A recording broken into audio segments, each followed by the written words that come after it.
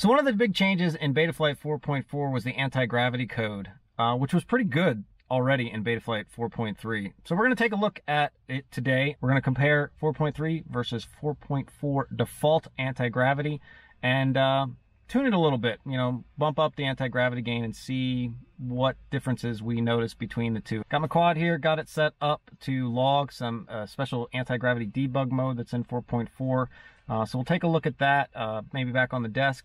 But for now, let's just uh, light this up. It's snowed, actually, oddly enough. So it's a little cold outside right now, so we're going to do a little car action here. Let's see what we get. As you can see in 4.3, it ain't too bad. Now this is my preset on it. A little horizon. It's not too bad at all. A little bit of bobble.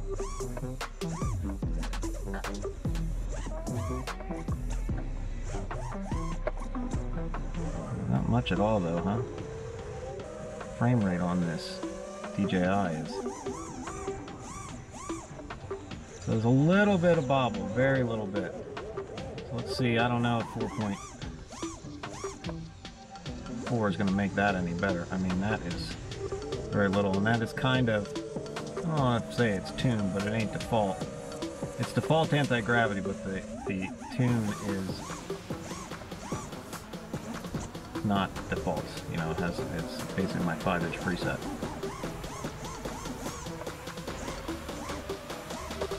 Yeah, very slight. So anyways, that's that's kind of what we're getting for default anti-gravity and just with a simple preset.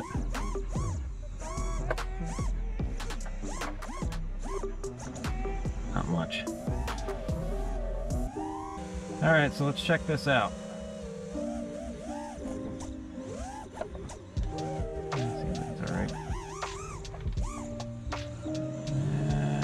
doesn't look any better.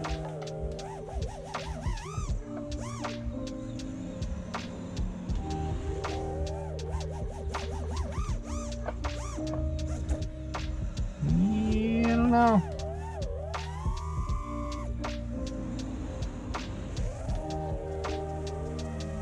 Why low level power mode.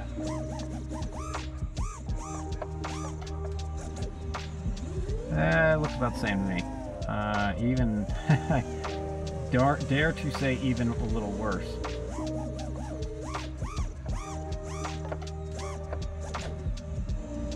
Yeah, I don't know. I feel like it seems worse.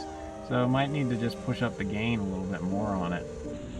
The DJI has a lot of latency when it's in low power mode.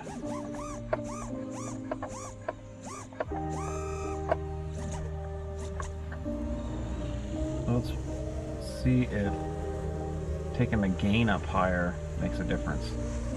We're to take a look at that.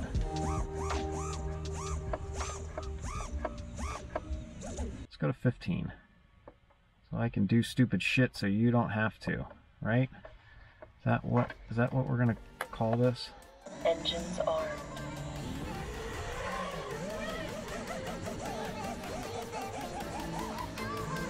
What particularly want to, you want to do is like pump the throttle a little bit.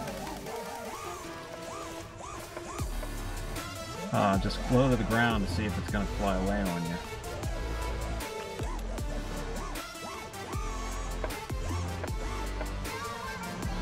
You can usually hear if it's doing something weird, that's why I cracked the door there.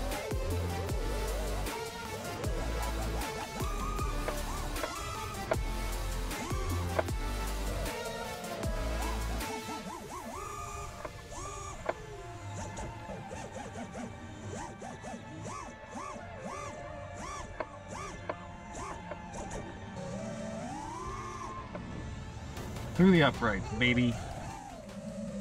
So what did you think? I was initially disappointed when I compared the default of Betaflight 4.3 versus the default of Betaflight 4.4. I think 8 is a conservative value, a little bit more conservative than what was in Betaflight 4.3. I was surprised at how high I could go. Uh, 15 seemed to work pretty well. So when boosting up your anti-gravity, there's a couple things you're looking at. You're looking at those throttle pumps to see if you're getting that nose bobble like that. And that's a P gain thing. To get rid of that bobbling Well, it's actually a combination of the two, but there's a lot of factor involved in that is in P gain. The next factor is when you do a full throttle punch out and you drop the throttle, does the quad do one of these? You probably are all familiar with what I'm talking about, where it kind of goes like a slow bobble.